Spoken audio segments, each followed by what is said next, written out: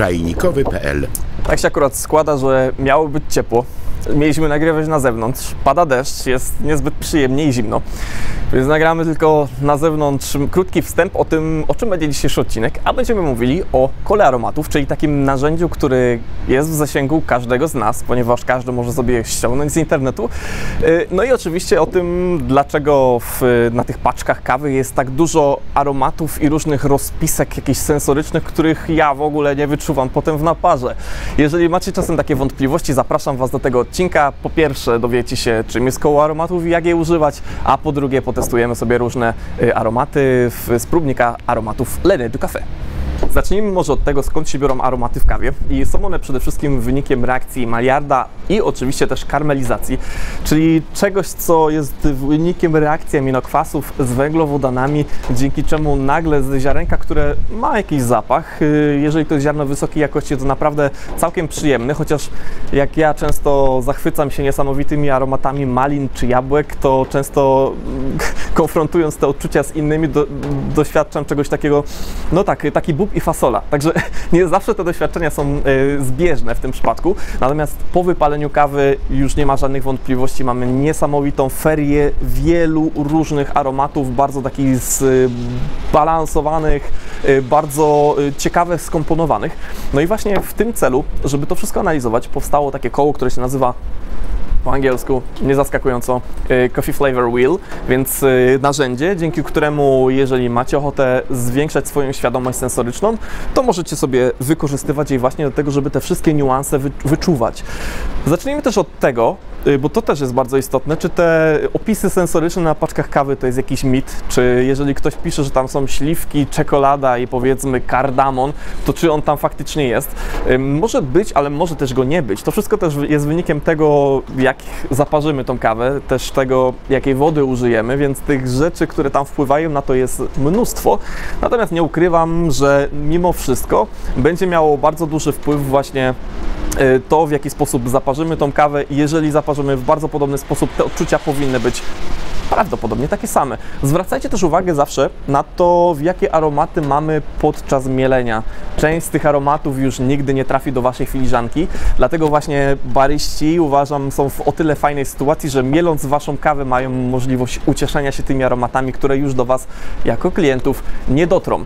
Coffee Flavor Wheel, czyli koło aromatów kawowych, y, tak naprawdę zawiera szereg y, różnych grup, no i tak naprawdę nie wszystkie możliwe aromaty się tutaj znajdują, tylko te takie najbardziej, najczęściej spotykane. No i narzędzie, które właśnie trzymam w ręce, służy przede wszystkim do tego, żeby prześledzić e, swoje doświadczenia, czyli pijemy kawę i zastanawiamy się, co w niej wyczuwamy. I rzadko się zdarza, że ktoś, który pierwszy raz pije kawę, siorbnie sobie taką kawę i od razu wie, o, tam są jakieś poziomki z kalifornijskich wzgórz, powiedzmy. E, To tak nie jest. Czyli najpierw szukamy ogólników, żeby pójść do szczegółów, ale o tym w małym zoomie Wam opowiem. W internecie znajdziecie dwie wersje y, koła aromatów. Pierwsza powstała, jeśli nie mylę, w 1995 roku i to jest taka wersja bardziej kreskówkowa. Ona jest trochę mniej dokładna. Została zrealizowana przez Specialty Coffee Association, natomiast ta wersja jest bardziej taka mm, precyzyjna. Możemy przejść do pierwszej środkowej sekcji, ponieważ zawsze analizując kawę zaczynamy od właśnie tego pierwszego, em, pierwszego okręgu, a potem dopiero rozchodzimy się na boki ku większym szczegółom. No i tutaj mamy różne grupy, do których możemy zakwalifikować dany aromat. Mamy na przykład kwiatowy, mamy też coś owocowego, warzywnego też jest. E, Są różnego rodzaju przyprawy albo, albo po prostu doświadczenia, na przykład jakichś orzechów. E, I to jest pierwsze pytanie, które musimy sobie zadać podczas picia kawy. Czyli pijemy kawę i zastanawiamy się, czy te aromaty są owocem, czy są warzywem, czy może są czymś innym, typu na przykład aromat skóry albo jakiś aromat chemiczny, czy jest to może aromat kwiatów. Y, Zauważcie, że już na starcie mamy rozróżnienia kolorystyczne i myślenie o kolorach, łączenie aromatów z kolorami jest bardzo, bardzo ciekawą formą, ponieważ y, nawet podświadomie często większość aromatów kodujemy z jakimś konkretnym kolorem, więc y, posługiwanie się kolorami, żeby dojść do odpowiedniego rozszyfrowania odpowiedniego aromatu wcale nie jest złym wyborem. Czyli jeżeli pijemy jakąś kawę i czujemy aromat, który kojarzymy z kolorem zielonym, Najprawdopodobniej pójdzie to w kierunku y, doświadczeń warzywnych albo właśnie takich kwaśnych, jak na przykład zielone jabłka. Jeżeli mamy doświadczenie z, z kolorami czerwonymi, tutaj dużo więcej jest słodyczy. Najczęściej jest to nawiązanie do czegoś owocowego. Więc na samym początku zastanówmy się, jaki aromat ma kolor i do jakiej grupy należy. Kiedy już wiemy, z jakiej grupy jest dany aromat i z czym on nam się kojarzy, musimy pójść troszeczkę dalej. Wyobraźmy sobie, że aromat, który czuję, jest z grupy owoców, czyli tej, która jest tutaj najszerzej reprezentowana przez różne aromaty. No i potem musimy zorientować się w takim razie, jaki to jest aromat. I powiedzmy, że mamy tutaj do wyboru aromaty cytrusów, jakieś inne owoce, mamy też suszone owoce albo jagody. Powiedzmy, że czuję jagody, więc muszę sobie po, przy, poczynić kolejny krok na ten właśnie drugi okrąg. No i będąc już w dziale jagód, szukam odpowiedzi na to, czy są to truskawki, czy może są to jagody, czy maliny, albo czarna porzeczka. Te aromaty będą różniły się od siebie, natomiast niektóre w przestrzeni, właśnie jak sobie zaobserwujemy całe koło, są większe, tak jak na przykład tutaj, albo trochę mniejsze. No i to też będzie miało duże znaczenie. Czyli y, jeżeli czujemy jakiś aromat i jest on pomiędzy truskawką a na przykład jagodą, to wcale nie, za, nie znaczy, że nie znaleźliśmy dobrej odpowiedzi, ponieważ jak widzicie, te dwa aromaty akurat są bardzo, bardzo blisko siebie, zupełnie y, sklejone ze sobą, odwrotnie niż jak jest w przypadku jagód i malin na przykład.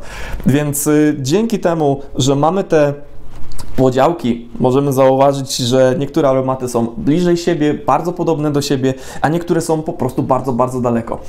Jeżeli już yy, znajdziemy jeden aromat, możemy z powrotem wrócić do środka i doszukiwać się jakiejś innej drogi, na przykład w kierunku kwiatów, gdzie znajdziemy następnie na przykład doświadczenie jakiejś róży albo jaśminu, albo w kierunku y, słodyczy, gdzie możemy szukać wanilii albo jakichś słodkich aromatów, albo na przykład cukru, albo na przykład miodu.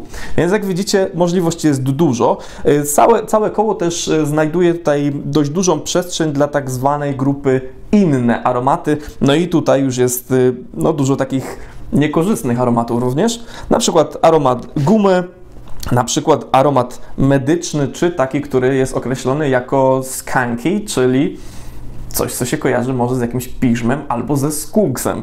Y, możemy też iść dalej w kierunku na przykład doświadczeń drewnianych. Jak widzicie, aromatów jest bardzo dużo, rozpiętość jest naprawdę bardzo, bardzo szeroka i to tylko od Was, od Waszej determinacji zależy, jak dużo tych aromatów znajdziecie. Zechciejcie chociaż zerknąć y, na to, na to koło y, na chwilkę, żeby zorientować się, jak wielka jest, jak szeroka jest ta, ta gama, a tak jak Wam powiedziałem na samym początku, tych aromatów, które macie tutaj jest zaledwie kilka kilkadziesiąt, a w rzeczywistości jest ich kilkaset, więc naprawdę jest w czym wybierać. Skoro już mówimy o aromatach, to nie mogło zabraknąć mojego starego dość sprzętu, a mianowicie takiego próbnika aromatów. 36 różnych fiolek z wyseparowanymi, odseparowanymi y, aromatami, które są obecne w kawie, nazywa się Lenydu Cafe i pewnie nie wypowiadam tego dobrze, to po pierwsze, a po drugie najprawdopodobniej znaczy to nos do kawy, w sensie dosłownym. E, jest to tak naprawdę taki zestaw, który jest bardziej e, no, taki edukacyjny, który można e, testować swoją wrażliwość sensoryczną.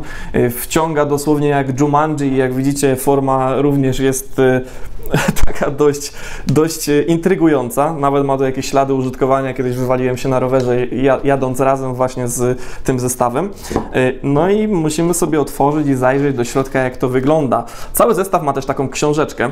No nie powiem, jest dość drogi, natomiast dzięki temu możecie sobie zobaczyć, że to nie jest żadna homeopatia, że za te konkretne aromaty, które my wyczuwamy potem w kawie, odpowiadają konkretne związki lotne, które no po prostu nasz mózg kojarzy z daną substancją albo po prostu z danym produktem. Czyli jeżeli czujemy smak truskawki w kawie, to nie znaczy, że ten aromat jest tam sztucznie dodany, albo nie znaczy to, że ktoś sobie coś takiego wymyślił, tylko po prostu dokładnie ten sam związek chemiczny, który jest w truskawce dzięki reakcji Maillarda powstał właśnie w kawie i możemy się nim cieszyć. E, przeprowadzimy sobie taki teścik. Dawno nie miałem okazji e, zmierzyć się z tym zestawem.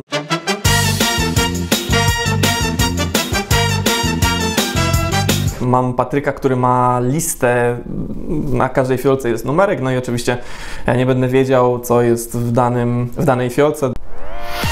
Strzelałbym coś w okolicach miodu jakiegoś. Tak, sprawdźmy. Ja mam troszeczkę łatwiej. Najtrudniej jest y, osobie, która nie miała w ogóle do czynienia z tym zestawem, bo są na przykład takie aromaty, jak właśnie, jak właśnie na przykład ryż basmati. Mhm, to raczej jest cytrus. I stawiałbym w takim razie na cytrynę. Pora zmierzyć się z czymś, co ma taką barwę raczej ciemnawą. Niektóre są jasne, niektóre są ciemne. Ja bym strzelał w jakąś y, na przykład y, ciemną czekoladę, bardziej w tym kierunku. Y, Natomiast To jest właśnie wspomniany przez Ciebie ryż basmati. ryż dobra. Okej. No to w takim razie mamy jeden na minusie. O. Uderzam w takim razie w kierunku.